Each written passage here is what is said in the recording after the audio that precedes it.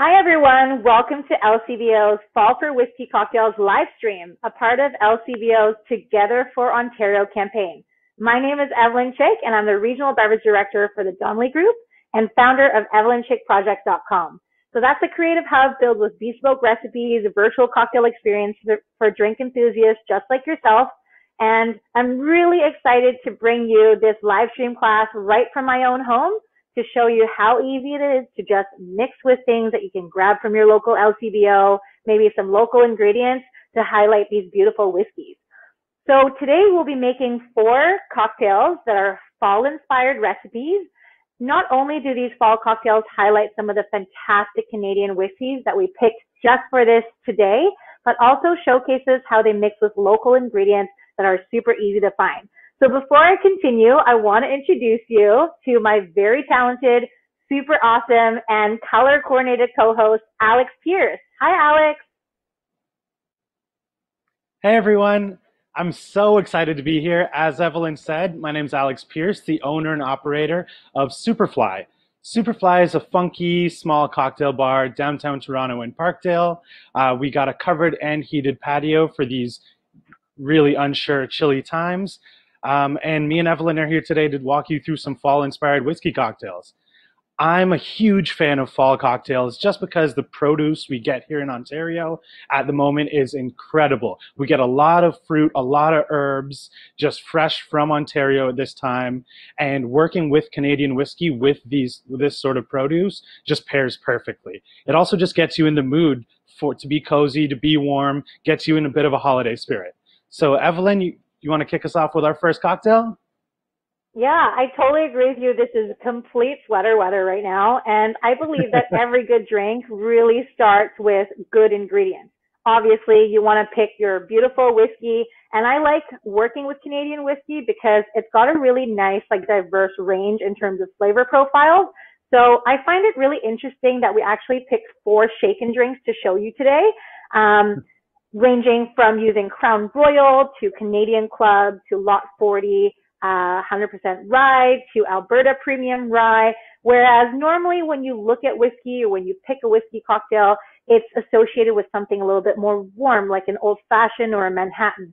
But today we're going to show you that it's actually really easy to kind of think outside the box a little bit and do something fresh, but still preserve those beautiful fall, fall flavors.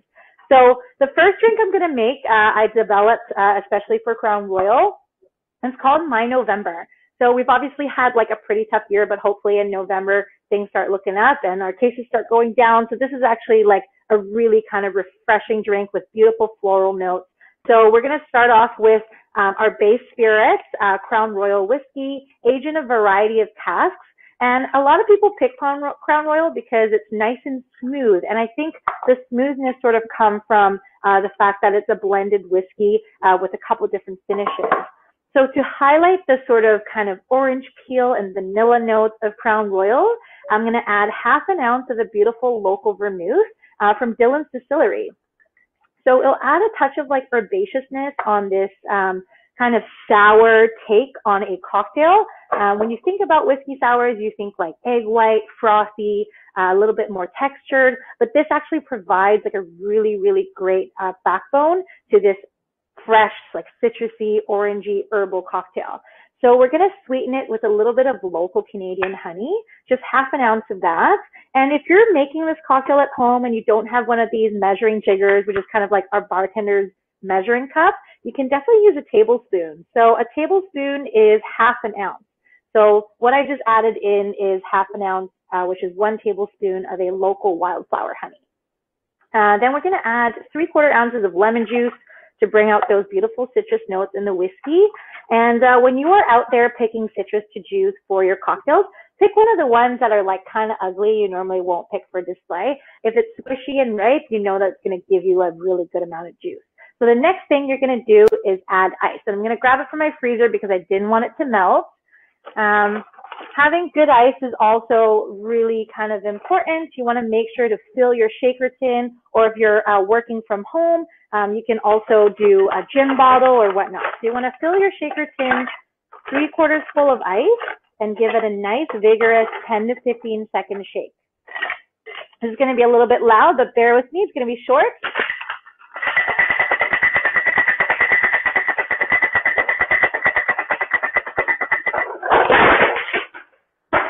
Well, that was a fail. Whoa! so you get your 10 to 15 second shake, and after you do that, you want to strain into a rock glass. Kind of like an old fashioned glass that you would use. I'm going to go ahead and grab some more ice. Luckily, I have lots around. Perfect. There's always a little bit of something that happens with these online classes, right, Alex? That's right. You're doing a killer job so far. That looks delicious. I'm excited to have one. Of these. Thank you so much. Sure. so, yeah, after you've been being in the industry for 13 years, there's always just something that happens. So you want to fill your rock glass with ice, and then afterwards, we're going to garnish it with a really long twist of orange. So this is actually the same garnish that you would use for an old fashioned. And the reason why we picked this garnish is because it highlights those sort of really beautiful allspice elements of the drink. And you want to just use a potato peeler to peel your orange peel like this. And you want to just zest it over your cocktail.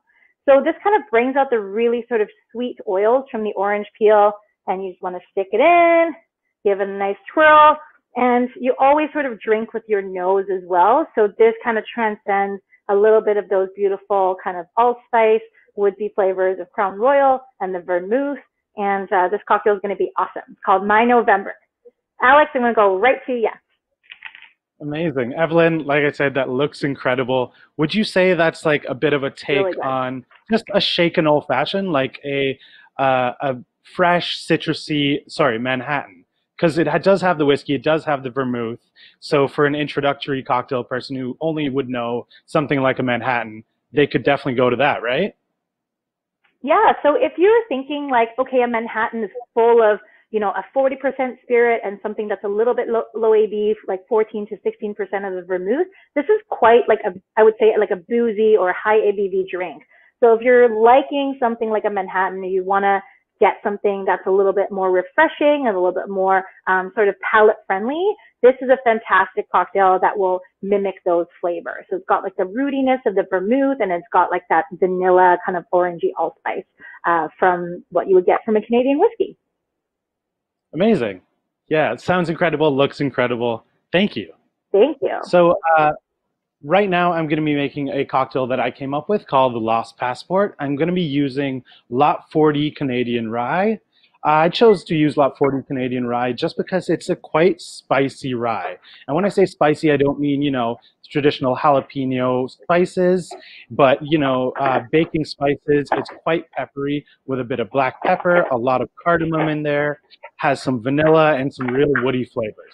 So these cocktails, we want to be super accessible, anyone to be able to make them at home. So you don't need a lot of fancy tools to be making these drinks just in your kitchen, in your living room. We're going to start with just any sort of tall glass, and we're going to add an ounce and a half of the Lot 40 Canadian whiskey. If you don't have any bartender tools, that's okay. Grab something like shot glass, just any sort of standard shot glass, fill it up to the brim, and that's one ounce. You're going to do the same size shot glass and fill it up halfway. There you go. That's an ounce and a half. Again, we want to make this super accessible anyone can make these at home. So you got the ounce and a half of your Lot 40 whiskey, and we're just going to add some fresh sage. Now, this sage is going to bring a real nice herbaceous note to this cocktail. Uh, it's going to play up the green cardamom in the Lot 40. Just add a real fresh element to it. And once you got that sage in there, you just want to muddle these ingredients a bit. Now, when you're muddling at home, use the back of a spoon. If you got a muddler, go for it use a pan handle, whatever you'd like to just get these flavors in.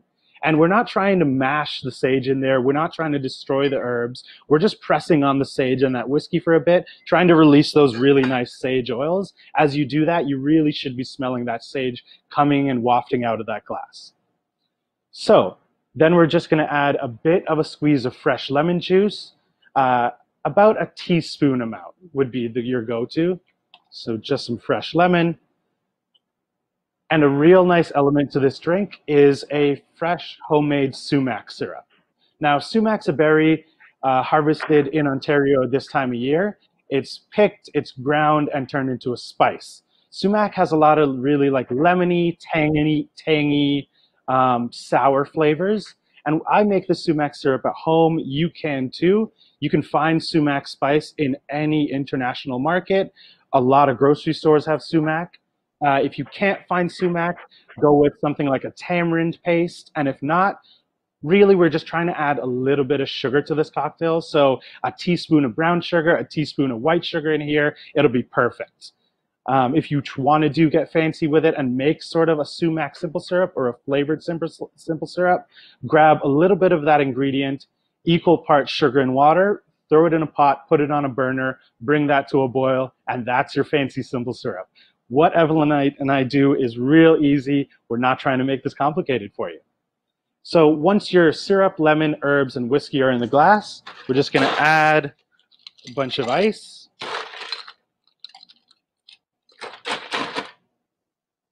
We're to give it a little stir just to make sure those ingredients are all incorporated.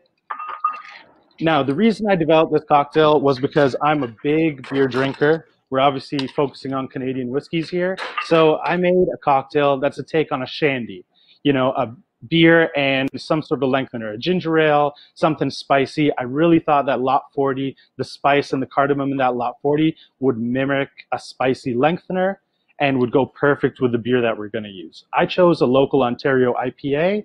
Grab your favorite beer from the LCBO and just pour that all into the cup. I chose an IPA just because IPAs are hoppy, they're bitter, they're quite dry. That bitterness and that hop profile really plays off the breadiness of that rye. Give it another quick stir, make sure all those flavors are incorporated. And we're going to garnish with some fresh sage, just to give that aroma of the sage that's been in there before. So cheers, that's my November.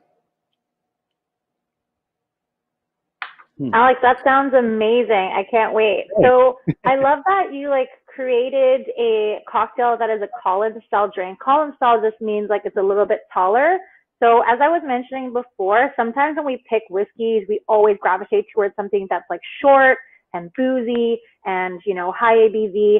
Whereas like it may not be super crazy approachable. So if you're just starting to drink whiskey, these recipes that you can find on lcbo.com is actually extremely approachable, like Alex mentioned. And it's also very refreshing and it kind of brings out different flavors that something like a stirred cocktail, like an old fashioned or a Manhattan that we mentioned earlier would bring out. So I'm really excited to show you another cocktail that Meghan Krys from Thunder Bay, Ontario had created uh, for uh, Canadian Club 12 year. And I think the range of sort of Canadian whiskeys that we're using today really showcases the different um, sort of uh, notes that you can draw from it. And I like an aged whiskey like that because it kind of gives it another depth of flavor and a little bit more texture. So this cocktail is going to be shaken in uh, something that is called a coupe. So it's a short, like very like intensely flavored drink. Um, drink responsibly and sip and savor this because those flavors really kind of will develop as your drink goes. So I was mentioning Canadian Club 12 year old. Um, it's an aged whiskey. It's got a little bit more uh, wood influence to it. So the kind of flavors that are overriding in all the Canadian whiskey, baking spices, some citrus notes, some floral notes. Um, this whiskey kind of has this like a little bit of chicory even, a little bit more kind of like woodsy, earthy flavors in the back end just because it's a, it's an aged whiskey. So it will work beautifully with all the different flavors we're going to put in this. So we're going to start with the star of the show, which is a Canadian Club 12 year old, and we're going to do an ounce and a half of that. So as I mentioned earlier, if you're using a tablespoon, which is half an ounce, this will be three tablespoons of Canadian Club uh, 12 year. And then to highlight these sort of beautiful, um, like burnt orange, um, a little bit more bready notes, we're going to do half an ounce of an orange liqueur, and I've picked Grand Marnier for this. Uh, there's a little bit of cognac in Grand Marnier, so it kind of gives it that like roundness that this cocktail needs. And uh, a little bit of Licor 43 just to highlight those vanilla notes. Just a quarter ounce, so if you're using a tablespoon, it's half a tablespoon. So that's pretty easy to remember. And now the next ingredient is pretty easy to find. It's pear juice. So with, you know, bringing up these beautiful fall flavors that are in the whiskey, I think pear juice is a fantastic choice. Thank you, Meghan, for this. Um, this is just Barlett pear juice uh, from my corner, um, actually Italian grocer. So we're trying to support local businesses, and we'll kind of tell you a little bit later as to how you can support more local businesses through the LCBO. Uh, we're going to do three quarter ounces of Barlett pear juice. And I think that adds like a really nice warming feeling and it highlights the sort of vanilla and allspice flavors in the whiskeys. Have you ever sort of like poached a pear and you're ready to make some pear pie or something like that? Maybe go with vanilla ice cream. Think about it when you're creating or when you're mixing this drink, like how you would if you were to work with baking spices. I think that goes really well together. Um, and then we're going to do a bar spoon, which is sort of like the bartender's like whisper of salt spoon. Um, in this cocktail. So a bar spoon is just uh, about seven mil, um, five to seven mil, which would be just under half a tablespoon or just under a quarter tablespoon um, of honey. And then we're going to do three quarter ounces of lemon. So put it all in that shaker tin and then we're going to try not to bring uh, the ice everywhere on the floor. This time we're going to put it actually in the tin which would be a better choice. So we're going to fill this tin up, or again, like if you have a gin bottle or whatnot, just put it right into the tin. And again, give it a good 10 to 15 shaken, uh, 10 to 15 second hard shake. Yeah.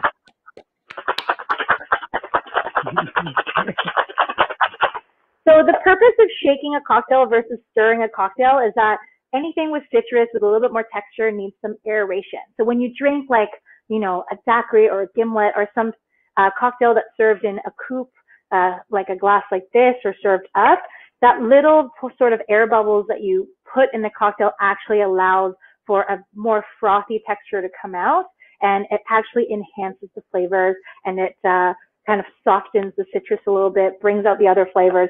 So this would be a perfect little short but amazingly flavorful cocktail that you can make at home. So just strain it into your favorite cocktail coupe, and I'm going to garnish it with just a little slice of Barlett pear. Um, and you know, you drink with your eyes, you drink with your nose. You want to make sure that all those beautiful flavors you preserve in the cocktail is um, translated all the way throughout. So I'm just going to lay this Barlett pear on top. It smells smells like fall. It's absolutely delicious.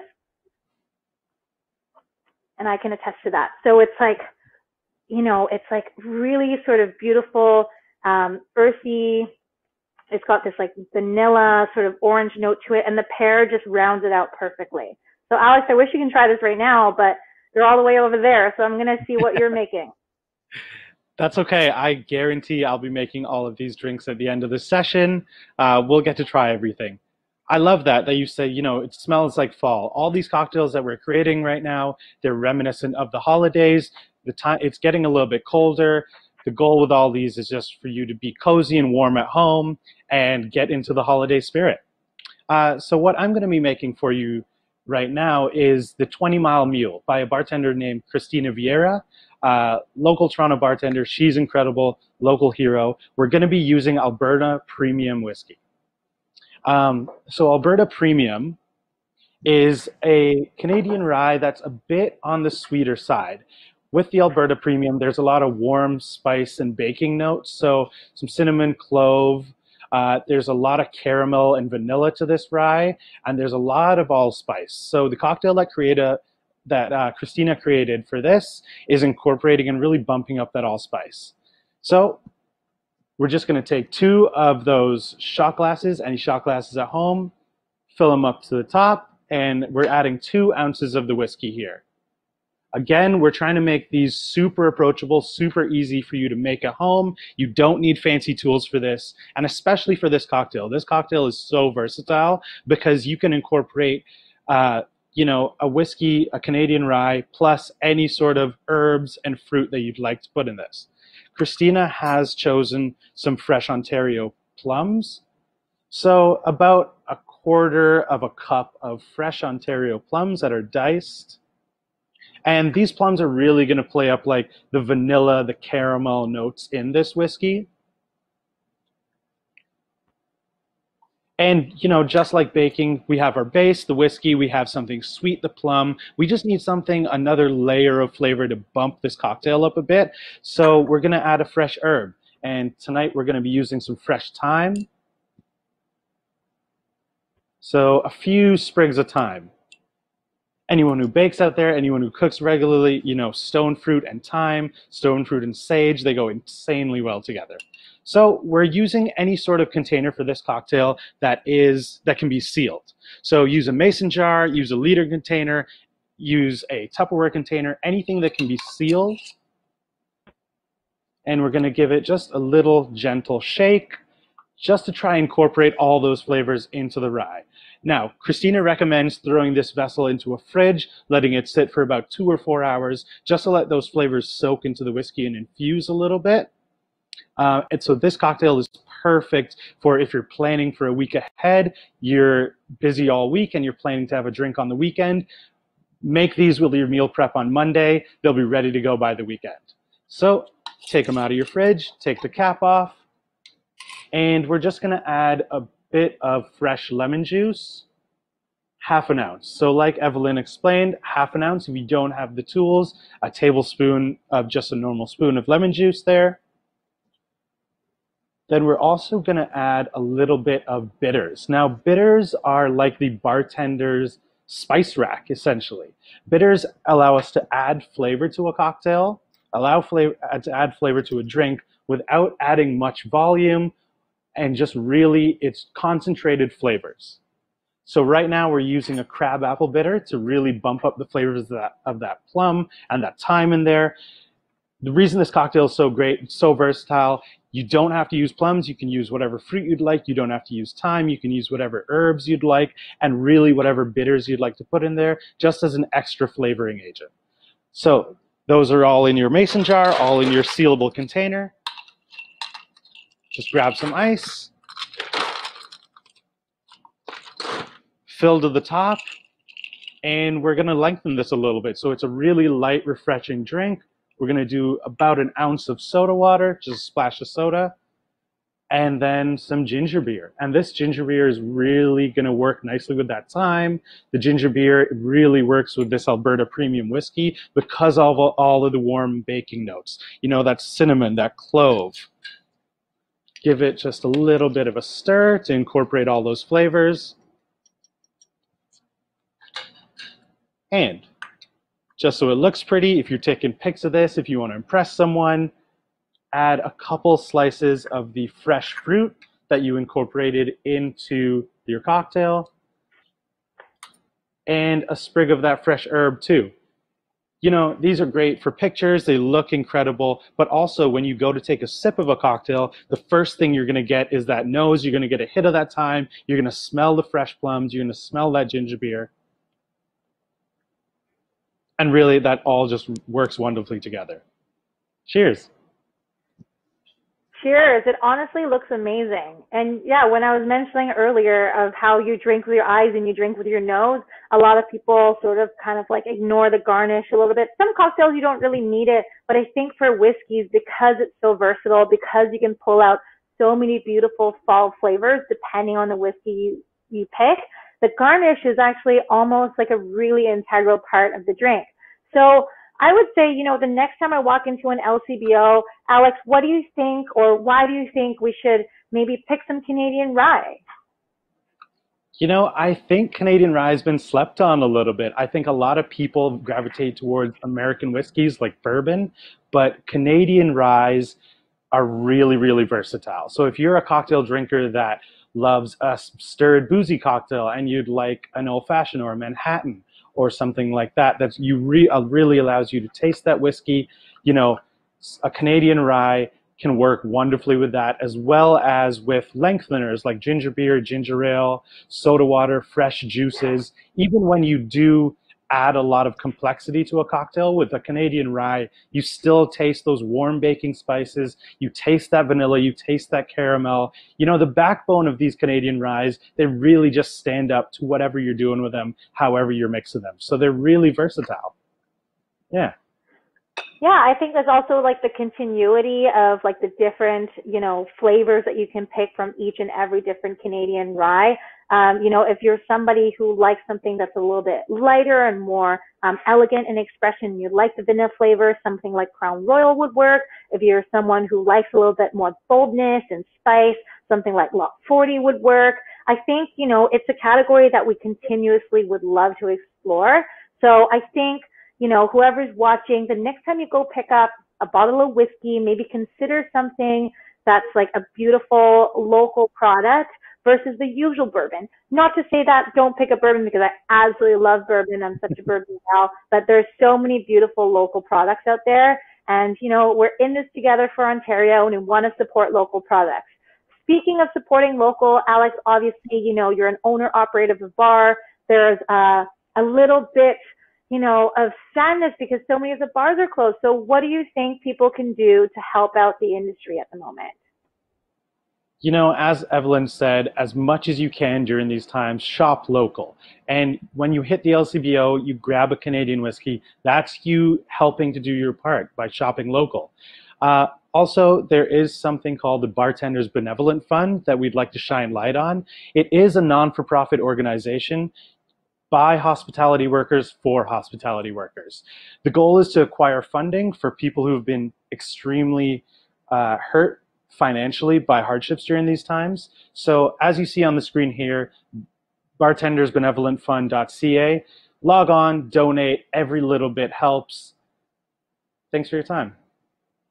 Yeah, well, thank you for highlighting the Bartender Benevolence Fund. I'm going to go back and like look at our cocktails. Um, I know that I had a question earlier that I forgot to ask. So when yeah, we were making the 20 mile, mile mule, uh, you used a crab apple bitter, which is amazing in highlighting the different savory notes of the drink. Is there a substitute for that? Can, do you think people can bring in something that is um, easily accessible in a grocery store or something? Absolutely. And, you know, like I said, the beauty about that 20 mile mule is really make it your own. You know, swap out the fruit, swap out the herbs, swap out the bitters, probably the most accessible bitter that you, everyone has access to is Angostura. So, you know, you'll see it. It's a small black bottle, bright yellow cap, big label. Angostura bitters and whiskey just go hand in hand. You can find them in almost every grocery store. Evelyn's got a bottle right there. It's super easy to find. Um, so in grocery stores, in every, almost every LCBO, they're right there at the front as you're cashing out. And Angostura bitters are made with you know, all the notes that we've been talking about from the whiskey. The warm bacon spices, cinnamon, cloves, a lot of allspice. So a couple dashes of Angostura to any whiskey cocktail you're making really bumps it up, really accentuates those flavors. So yeah, thanks for that, Evelyn. Yeah. Of course, and I like that you highlighted that bitters to us or bitters to bartenders are kind of like a spice rack for chefs. Whenever we create these cocktails or, you know, we're kind of asked to create cocktails, we always think about what can complement the base spirit, sort of like how chefs would look at something that they can find locally and create a dish from that local product. So I think it's really, really cool to think about it that way and highlight these beautiful spirits and beautiful local products with things that can complement them. So Alex, I'm going to raise a glass and cheers you um, for cheers to you, Evelyn. For, you know, joining me. Yeah, so good to see you. Cheers. Oh, great and to see I want to thank everyone um, that joined us in this YouTube live stream. Thank you, LCBO, uh, for having us. Just remember to enjoy responsibly, sip and savor because these are beautiful drinks. You don't want to, you know, go and like drink it all and now you have none left. So sip and savor. Cheers and uh, be safe, everybody. Cheers. Have a great night, everyone. This was a pleasure. Cheers. Cheers.